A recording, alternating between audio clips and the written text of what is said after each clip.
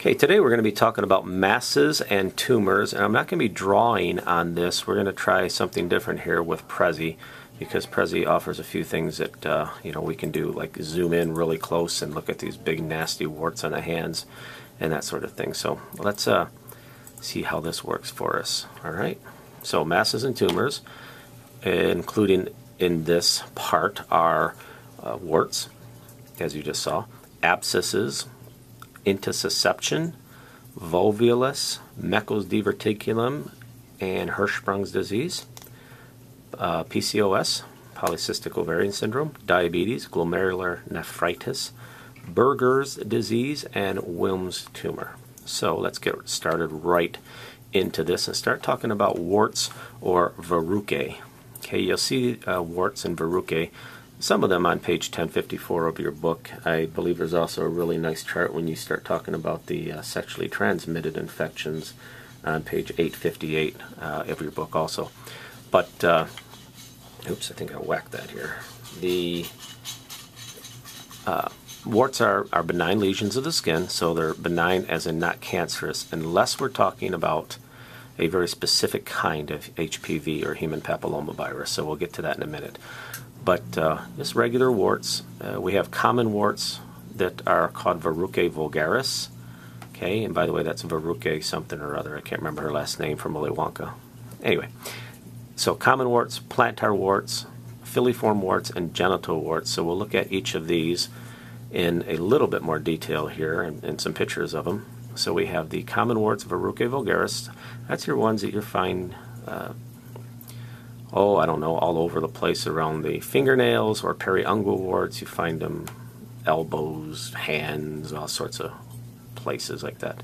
Okay, plantar warts, these are the ones that are found on your feet, obviously. And we'll see pictures of the plantar warts or the verrucae plantaris, plantar warts, plantar uh, surface of the foot. And, and that's why it's named like that. So these are found in your more warm, moist environments, right? At the uh, pressure points. They really hurt when you step on them. That makes a lot of sense. And uh, filiform warts. These are the long and narrow little kind of skin tag things that are found in your eyelids, face, neck, that sort of areas. And then, of course, there's the genital warts. And you have to be a little bit careful when you talk about genital warts because there's a couple of different animals here we're talking about as, as far as whether or not they are uh, sexually transmitted or not. So the condyloma acuminata or venereal warts, we'll look at that. And then uh, just to mention the condyloma lata, that was a second stage of syphilis. And you can see those um, very specifically, obviously, in S, uh, sexually transmitted infection and syphilis. And uh, you can see them over the, under, not over, under a dark field microscope, and it shows these little spirochetes. And uh, you know, this is uh, syphilis is obviously a big issue, especially uh, at sex is or at at uh, at risk is uh, is men who have sex with men. Uh, it's also very common in urban and poverty-stricken areas, prison populations for the same reason, and uh, it's transmitted during the first few years of infection, and then it can also be, by the way, transmitted to the fetus during during pregnancy. But there's a there's a hard they call it a chancre that develops in a primary stage, and then uh, you have systemic symptoms like low grade fever and, and malaise or, or really tiredness, uh, sore throat, hoarseness, anorexia, headache, joint pain, skin rashes, um, and uh, then when it goes tertiary or, or latent stages, they're usually actually asymptomatic, but you can get neurosyphilis and um, without treatment, of course, and uh, that can actually you can also go blind as far as that goes. Anyway, but these uh, warts in general we'll talk about are basically person to person. They're viruses, like I said, the human papilloma virus, but We'll look into that in a little more detail. Okay, so these are your typical warts that you're found on your body. Obviously, the one on the right is certainly anything but typical. That's pretty severe warts. Okay, the verruca plantaris, all right, plantar warts on the bottom of the feet, as you can as you can clearly see. Uh, want to zoom in on that thing and look at it real close. That's one of the cool things about Prezi that you can do. Okay, and let's look at the filiform warts. Okay, filiform warts again. You're talking about uh, that little thing that is kind of like a little skin tag. If you can zoom in really close on that, I guess it becomes a little blurry when you do that. But uh, filiform warts, the okay, condyloma acuminata. Okay, condyloma acuminata, page 1054 of your book, and this is where you got to be a little careful, okay? This is a benign tumor caused by HPV, the human papillomavirus, usually type 6 though. Now, type 6 is not one of your cancer causing strains, all right? Uh, it is highly contagious and skin to skin contact. And uh, they say it's a cauliflower like lesion in moist areas along the glands of the penis, vulva, and anus. So if you look at that a little bit closer up there, you can kind of see the little cauliflower look um, with that. But uh, keep in mind, uh, that's that second stage of syphilis one here, but keep in mind when we're talking about the condyloma acuminata, um, that is actually the most common viral uh, sexually transmitted infection in the United States. And again, you kind of have to separate this one to type 6 from the cancer ones, but uh, the HPV in general, risk factors are, are, pretty much the same, right? And that's uh, uh, multiple sexual partners, obviously early onset of sexual activity. And when I say that, what what uh, the official definition of early onset sexual activity is is 16 to 25 years of age is considered early onset, therefore higher risk of uh, developing HPV, whether it's the the condyloma acuminata part of it or whether it's uh, the kind that leads to cervical cancer is is the same risk as far as that goes. Um, now the ones that are associated with cervical cancer, um, you're talking about uh, vulvar vulvar cancer also, and uh, you can uh, in females cervical and vulvar, in males anal rectal and squamous cell cancer of the penis in men. So. Um, these genital warts are contagious, and infants can be infected also during delivery. Okay, and the thing about HPV is it's very often uh, asymptomatic, so the person that is carrying it around doesn't have any idea. Okay, there's again our condyloma lata, the second stage of syphilis, and um, just a, a, recap on syphilis here. The incidence is higher among men who have sex with men. So we're also talking about urban and poverty-stricken areas and prison populations for the same reason. Uh, during the first few years of having this infection, it can be transmitted. Eventually, it uh, can't be but uh, it can also be transmitted to the fetus during during uh, pregnancy too. So uh, what you get in the primary stage is a really hard chancre, they call it, and then when it goes uh, uh, systemic or in the uh, second stage of syphilis, then you start seeing you know things like a low grade fever and malaise and sore throat and hoarseness, kind of like you know flu kind of like symptoms, and then you start seeing, you know, anorexia and, and headaches and joint pains, uh, skin rashes, and, and when it kicks into the latent or tertiary stages, it's usually asymptomatic again as far as syphilis goes. And problem, of course, is neurosyphilis. Not that you know this isn't a problem too, but neurosyphilis um, is a um, possibility when it kicks into the third stage, and obviously that can kill you having syphilis in the brain. Okay, moving on to abscesses. So we have abscesses, and uh, one of the things about abscesses, again, page 1053 of the book, like it says up there, uh, most of these are caused by um, Staph aureus, actually, but you can see them uh, in, in Pseudomonas from the hot tubs. So hot tubs is a very common place, unfortunately, to get a folliculitis or an infection around the hair follicle. Okay, and this is you know just a collection of pus, and it's inflamed, and we'll see a picture of that in a second here. Uh, you can also get it from beta hemolytic strep, but it's not as common as that, as that Staph aureus. Okay. Uh, keep in mind, you know, when we're talking about Staph aureus, you're also possibly talking about that methicillin resistant or uh, MRSA, right? The methicillin resistant Staph aureus. So this can be a pretty serious thing as far as catching these these nasty little things. Um, back to folliculitis. Um, again, it's usually by Staph aureus, and um, what happens here is you get this inflammation that's caused by the release of different chemotactic factors and enzymes from the bacteria, and uh, from these enzymes and chemotactic uh, factors that are coming from the bacteria, you get these. Um, um, well, you get inflammation, and then and then it looks like these pustules, and then you got redness around it or erythema. Uh, usually, when you're talking about folliculitis, they're they're these um, pustules that are like on the scalp or even on the extremities, arms, legs, that sort of thing.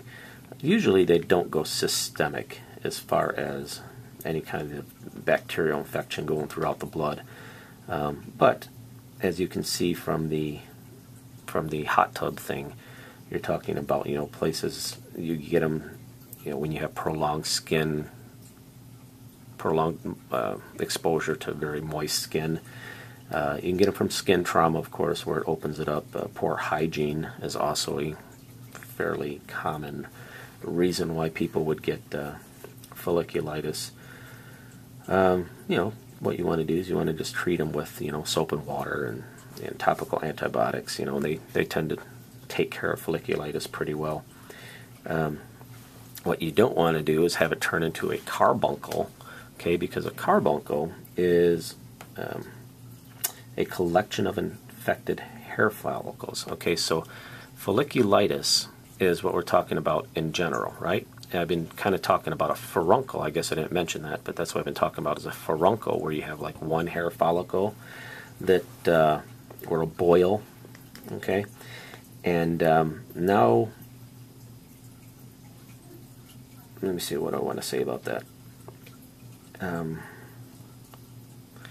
anyway, I guess I want to move on from that and, and talk about the carfuncle. I mean, car, carfuncle, carbuncle, which is a collection of these infected hair follicles, and um, you start seeing these usually on the on the back of the neck or the upper back, or even on the lateral parts of the thighs. These things, even though the furuncles hurt, when you have a collection of them, it hurts even more. So now you got um, these painful, swollen masses that that they drain through all these different places, and and of course abscesses. And with that, again, it's it's a little more severe um, chills, fever, malaise. Um, again, you just want to treat them, you know, with uh, uh, treating them, you know, uh, topically, maybe with warm compresses, that sort of thing. Okay. Um, you hear about abscesses all the time with uh, tooth infections, and I think there's a slide uh, showing an abscess and a tooth infection. Um, but you see all sorts of different kinds of uh, of abscesses as far as that goes. Um, retropharyngeal, as in behind the pharynx, um, you can get that spread and get abscesses. I think there's a picture of that also on your tonsils, sinuses, ears. Alrighty, so pretty, pretty, um, I think pretty straightforward as far as abscesses or kind of digging a infected hole kind of thing going on there. All right, painful red, warm pus uh, can go to treat. It can go to sepsis when you're talking about, especially the uh, the retropharyngeal, the ones around tonsils and that teeth and that sort of thing. Okay, and you just kind of test them. You know, clinically, you can see them. Uh, do a CBC, it'll show definitely inflammation going on there. Culture the wound, and in some cases, you might have to do a CT to to look at them um, whatever the damage is somewhere in there. Okay, this is your periapical abscess, infection of the actual pulp on the tooth, and uh, you can kind of see where I think it's right in here. Maybe difficult to see with the lighting in here, but That's kind of nasty. Um, it's being it's starting to become pretty bad. Um, that big boil right in there in the gums. Okay, maybe it's uh, this is how it would look if it was a drawing. Okay. Retropharyngeal abscess. Okay, so you can see this. Uh, the whole area back here is kind of abscessed, and you can see where the the the uvula, the little thing, is kind of shoved over because of that abscess. There's abscess in here too. It looks like, but uh, just kind of all nasty and red and kind of I don't know, eating a little bit of a hole in there. Okay, here's our furuncle again. Looks uh, infected hair follicle in there. And uh, not sure what else to say about that. Nice little, interesting little picture, I guess, if you want to zoom in on it and look at it really close, which is, you know, kind of gross. Okay, carbuncle, obviously even more gross. So you look at these carbuncles, you know, really up close, you can see that just a, it's a whole bunch of uh, furuncles or hair follicles all involved in there, and you can see massive amounts of pus and oozing coming out of there. So, yeah, you can look at it on any of these views. It's pretty bad. Okay. Intussusceptions or volvulus. These are two different things, so don't get them confused with being the same thing. Uh, I guess we'll start with intussusception, like on page 943 of your book. Basically, all it is, and we'll see a picture of that, is telescoping of one part of the intestine into another. So it uh, kind of overlaps and, and folds in on itself. So we'll see that in a minute here. As far as the cause goes, idiopathic is usually the you know we don't we really don't know what really causes these things. They suspect maybe a viral infection the uh, bowel, basically, the problem with intussusceptions is it cuts off the blood supply to the bowel and uh, it starts literally killing parts of the bowel. Let me actually uh, look at this here uh, on the picture and then we'll go back to that. So there's your little small intestine. Oh, by the way, small intestine um, is what's happening here. So, you know, one part is literally telescoping, that this part over here is telescoping into the other one and folding underneath. Well, if you look really close, you see all these uh, vascular tissue here, and they're being cut off. So you're losing blood supply, you're crunching things up, and, and basically cutting it off. So you can see where it's going to cause some of these problems where you get, you know, the abdominal pain and the red currant jelly stools because you're literally losing uh, a lot of blood in there, and um, you get some pretty good bleeding going on in there and it, it uh, can cause vomiting too. Okay? Uh, it can kill. I mean, this is a medical emergency, by the way, this uh, pushing one into the other. So uh, it is pretty um, serious, and you got to deal with it pretty fast. Okay?